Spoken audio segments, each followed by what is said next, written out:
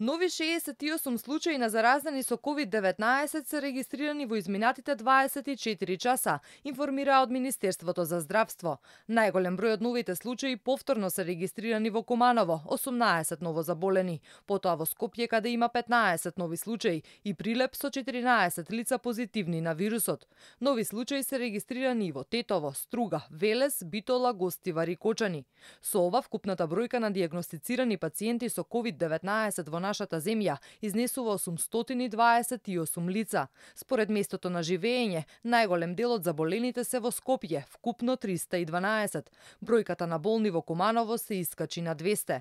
Најмал број на позитивни на коронавирусот има во Пробиштип, каде е регистриран само еден случај. На клиниката за инфективни болести, како што информираат здравствените власти, се примени 20 нови пациенти, а вкупно хоспитализирани 69. Од нив 18 се на кислородна поддршка, 8 на респиратор респираторна машина.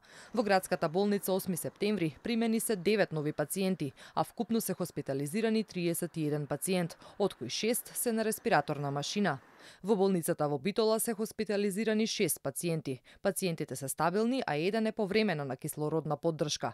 На домашно лекување се следат 8 пациенти со лесна клиничка слика. 13 мина се лекуваат во болницата во Штип, а уште 13 се следат на домашно лекување.